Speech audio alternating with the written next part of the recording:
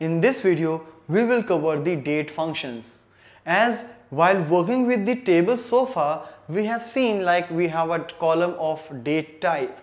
So if I want to do some arithmetic or to perform some functionalities, we do have several options in the Oracle. So let's find out what all arithmetic or functionality we can perform in practical. So before getting started with the functions related to dates data type, let's see what all arithmetic we can do with the dates. As in the previous videos we have already discussed like whenever you want to get the current system date you can request sysdate function. So if I'll call this function with the dual table I will get the current date.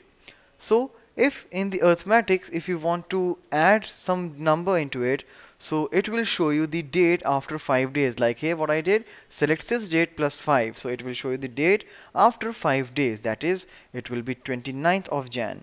Similarly if you will subtract a particular number from it you will get a date of 5 days prior. Now after this if you want to add few hours with your date or if you want to subtract few hours from your date you can do that as well. For example if I want to add 14 hours in my current date and want to check like what will be the date after 14 hours. So you can do that by dividing the number with the 24 so it will be like the you are adding the hours into it. And now after 14 hours it will be 25th of Jan Similarly, if you will subtract one date with the another, it will show you the difference in the number of days. For example, if I'll say like here I'm using to date function just to convert a simple string to a date. We will discuss about this conversion function in our coming videos. So let's take some uh, random dates that is uh, let's say 31st December 2016 and I, I will subtract it with a particular date like to date and we'll put the date in the single quotes as you can see. Let's take any random date alright and uh, again from dual just to complete the syntax. And here you can see like it is 10,539 days. Alright? So you can take just any random dates and if whenever you will subtract one date with the another it will show you the difference in the number of days. Now let's discuss about the methods which are associated with the date data types. So let's begin with the first method that is months between. So here I will simply call months underscore between function. And in this one I will pass a couple of dates. Like here I will say 31st December 16 and here I'll pass another date.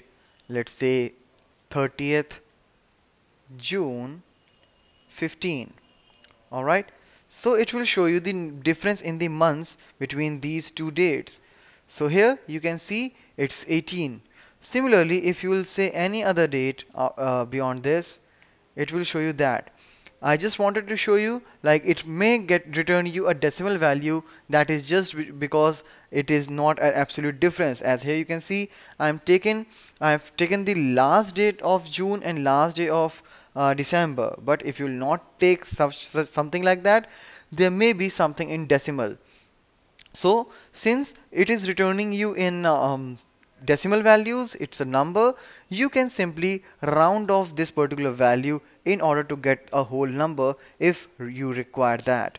So I'll simply uh, just make a nesting and I'll add a round function into this and now it will return you the absolute whole number. Similarly we do have a function called next day in which you can pass a couple of arguments. So first of all I'll call a function next underscore day. And here in the first argument I will pass a particular date. Let's say I have taken 26th Jan 17 alright? And I want to check like after this when is the next Monday coming? So if I'll execute this you can see 30th Jan 17 is the next Monday after this particular date like months between which was finding the difference between the two months I can also use the add months method if I want to add one month uh, some months into a particular date. For example if I'll take another date let's say 31st December 16 and I want to add let's say 15 months from it from dual alright? So after 15 months the date will be 31st March 18 alright so these are some uh, methods which you can use for the particular operations. Now as in the maths uh, and numeric functions we have already seen about the round and trunc we can do that here as well.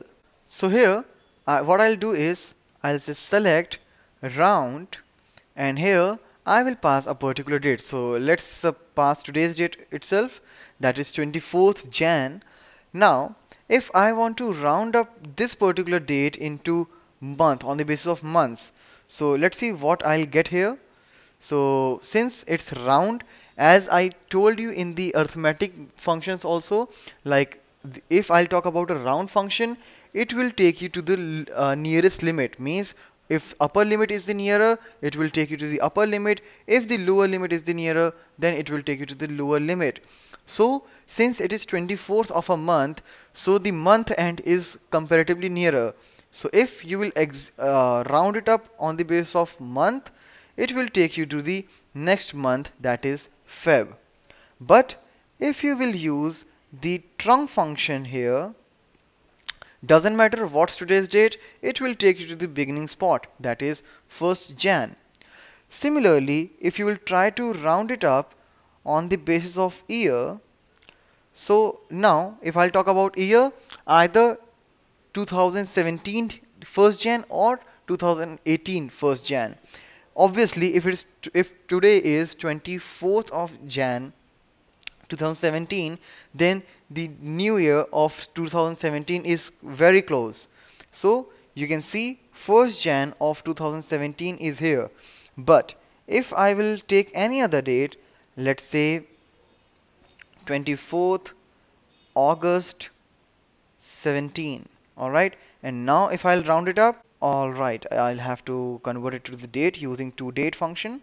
So it will take you to the 1st Jan of 2018 but again doesn't matter what is the current date if you will talk about the trunc it will take you to the lower limit means still it will drag you till 1st Jan 2017 so these are some commonly used functions that you can associate with the date data types